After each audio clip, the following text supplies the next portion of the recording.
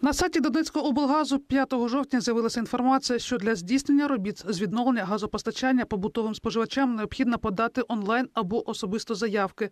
Пояснили це наступним чином. Дана форма заявки потрібна для формування реєстрів побутових споживачів, яким необхідно відновлення газопостачання для подальшої роботи по фактичному відновленню. Після поширення цієї інформації соцмережі буквально заполонили гнівні коментарі та обурення. А мы отказывались от него, чтобы заявки подавать. Что вообще за бред? Почему мы должны подавать заявки? Когда отключали разрешения, не спрашивали. Хватит издеваться над людьми. Просто откройте кран. Ще більше підігріли ситуацію повідомлення, що в міськгазі треба не просто заповнити заявку, а ще й заплатити за перевірку справності вентиляційних каналів. Уважаемые жители, кому-то уже звонили с Гаргаза с вопросом, будете ли подключаться? И почему за неимением газа в трубопроводе уже сейчас заставляют оплачивать проверку венканала? И как можно их проверить в данный момент, когда газ отсутствует? Я заплатила 160 гривен. У нас один венканал на печку, а сосед 360 гривен. У него на напольный котел венканал и на печку. Ясна річ, що вже вранці покровчани буквально штурмували управління з газопостачання та газифікації. Питань у всіх більш ніж достатньо.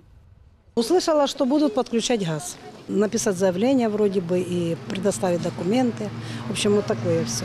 Ну, я ось везу всі свої документи, що я платила. Ну, то і все. І мені в п'ятий кабінет. Не писала заяву, потому что я не знаю название своей газовой печки. Пойду я домой, узнаю название газовой печки, и тогда приеду. Перезаключение договора. Нам. Ну, так нужно, будут же подключать нас. Чи всім треба писати заявки про відновлення газопостачання та чи доведеться платити за перевірку вентканалів, ми також хотіли запитати у керівництва міськгазу. Однак вже традиційно від коментарів вони утрималися. Тим часом роз'яснення з'явилися знову ж таки на сайті облгазу. Тут написано, що відновлення газопостачання буде безкоштовним. Платними ж є наступні види робіт.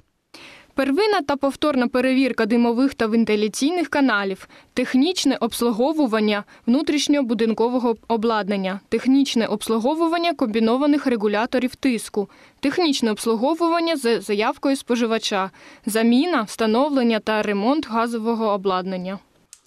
Безсумнівно, перспектива відновлення газопостачання добра та очікувана новина для мешканців регіону.